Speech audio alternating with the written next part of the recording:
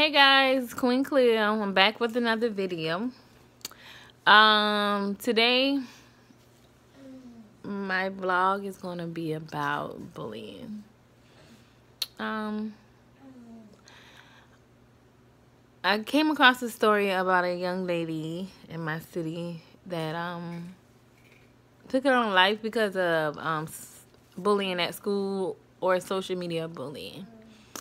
And from a parent that has experienced bullying firsthand with my oldest daughter this year, um, she was having a tough time at school. Um, her and the girl fell out, and then the girl cousin came. And um, it just was a misunderstanding what someone else outside of them said. And it just was back and forth. And I, me as a parent was like heartbroken because you know, I love my kids, and I always tell them to stand up for themselves, which, you know, she doesn't have a problem with. Stand up for herself, but also stand up for others who don't have the courage. You know, even my friendships or friends that I've known or peers, when I saw they couldn't stand up for themselves, you know, I defended them because I'm a very open person. You know, I don't bother others, but when you bring it to me, I'm going to bring it back. That's just my sign. That's just how I was built. I don't bother you, but if you bother me, then it, it, it's going to get ugly. So I just don't like the fact that kids think they can get away with bullying others because of what how they look or how nice they are to somebody or you don't like this person because this person don't like them. And even in school, like it's a popularity thing. Um, everybody goes with the flow. If this person don't like it, I'm not to do it.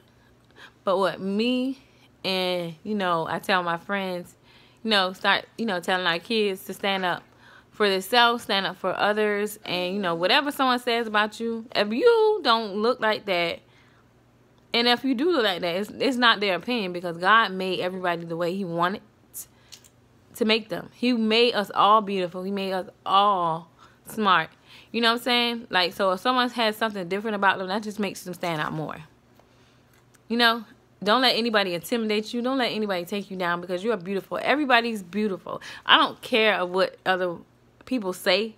I don't care what your peers say. You are a beautiful person. God put you on this earth for a reason. And, you know, don't let anybody tell you that you're not beautiful. I don't care about, you know, who dresses the best. I don't care about who mama has the best money, who has the best house. You know, kids are paying attention to like material things when God intended us to be people that were nice and kind, people that were support our brothers and sisters. So he didn't intend us to pick on each other and make, you know, someone feel so bad till they feel like they can't live anymore. You know, that's so heartbreaking because me as a parent, I tell my kids they're beautiful. I tell my kids they're beautiful, they're strong, they're smart. No person can get in my kid's head because I instill values that going to be everlasting. But you have to apply the tools like I tell my teenager.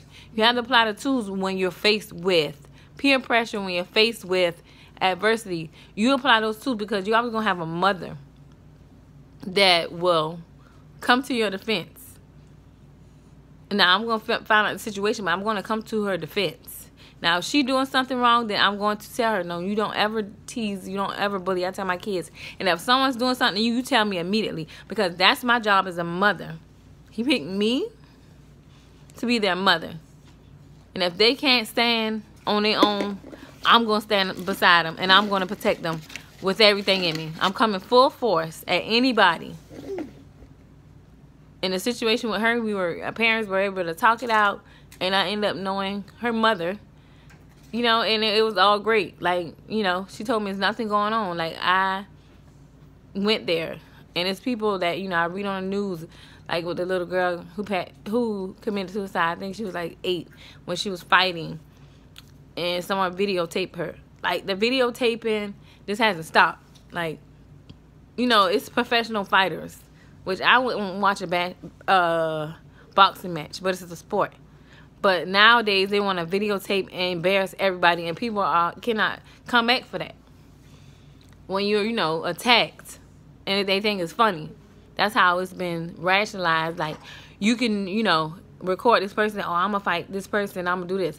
No, that's not right because everybody deserves a chance at life. Like to see someone young. I'm 31, and I'll be 32 in July. But just to see somebody 16, 15, 16, and younger than that take their life is not. I mean, it doesn't settle with me. You know. So, like I was telling my fiance, I was telling my friends, I want to start something where, you know, we do um, confidence building. Like, start a group. When I was in school, I was in a group, you know, with self-esteem. Like, we don't know what's going on with our children, but I'm not going to sit there and not do anything. I'm going to start a group, you know, because yeah, I see everybody else or other people that start groups and organizations to build women up because you never know what what our um, kids are facing, women or men. You don't know what they're facing. Abuse, sexually, physically, mentally. You know, you never know what the, the kids are facing. The same type of abuse. You don't know what's going on. So you have to be in your community and you have to like step out and speak up for others. And I don't like bullying, period. It's a no bullying zone with me because I don't feel like no one should take their life because life is so precious. Like you have people that are, you know, wishing they can live, but they have the illness, you know, a serious illness, and it's been taken away. So when you get life, you have to grab grab it. You have to embrace it because you only get one life. There's a life after this, but He wants you to do the work on the earth to secure your everlasting life in His kingdom. So we have to like stand up. When I see somebody, if I think somebody being mean to somebody else, I'm stepping in and I'm gonna say something. Everybody like my no, I'm not minding my business. It's my business to step in and say that is not okay. It's not okay for you to be mean to this person. It's not okay for you to hit this person. Not okay for you to make this person feel like a piece of crap because you may be going through something and you want to take out on others, but you don't deal with that. You deal with what you're dealing with and pray, and you be nice Bullying will never ever be okay with me, and I will never ever stand for it. And I stand against it, and I speak against it. I do not like it. So it needs to stop. It needs to start at home. Respect. And no matter what you go through, our ancestors been through so much, and you, you still see them living. You still see them walk around. You still see them remain humble when they were attacked. So today, it stops. It needs to stop. And I stand with the other organization, no bullying. Stop bullying because it's taking too many of our children away because someone comes to school and wants to do something. Oh, I don't like her. Well, it don't matter. I don't. You know what I'm saying? You don't have to like everybody. Stay in your corner. You don't have the right to make somebody feel like they're nothing. They're not worth this because everybody is worth their life. And you know, I want to get serious. I want to get raw. Like I don't like bullying, and it'll never be okay. So whenever I come up with or whatever he leads me to, I will have an organization that will not tolerate it and we will build, you know, people who need it. And even myself, like confidence, you know, because everybody is beautiful, everybody is a masterpiece of the Lord. And I just want everybody, if you're listening, if you're looking at my video, I want you to know you're beautiful, you're strong, whatever you're going through, you're going to get through it. Don't let anybody tell you different. Don't let anybody take you down. And don't let anybody words, you know, hurt. Because at the end of the day, God loved you for you. No matter what you're going through, no matter how you look, no matter what you've been through, no matter what condition you have, no matter what's going on. You're valuable. Your life means everything. You can make a change. You don't have to do that. You don't have to end it because guess what? God made you. And when he's ready for you, he'll take you. So I speak against suicide. I speak against bullying. I speak against abuse. It is not going to fly with me. And I stand with and firm on the belief of God that we are people and we should be treated as people. We should be treated with kindness. We should be treated with respect. It's time for us to take back what a person tries to take away, what a person tries to do. You stand in power, you stand in with the Lord. Because the Lord is and always will be the number one, the Omega, who can come down and stop everything. So it's time for us to praise him. It's time for us to stop this. It's time for us to step in and let him know it will not be tolerated by me. It won't be tolerated in this world. Bullying has to stop. It has to. Too many lives have been taken away. Too many. And I stand today. I will not stand for it. And I will always speak against it. And I love everybody. And no matter what you're going through today, I want this to speak volumes in everybody's heart and everybody's mind. And I pray for the ones who have been lost. But it stops today.